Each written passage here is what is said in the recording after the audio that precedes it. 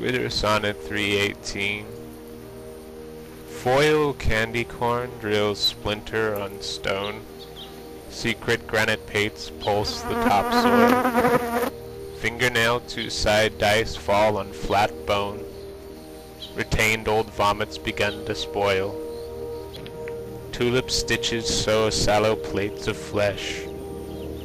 For days meat inside's been sadly humming Perhaps purity comes years after fresh. Bruised lids shade paths of the pupil's coming. Blackened broccoli branches clutch the down moon.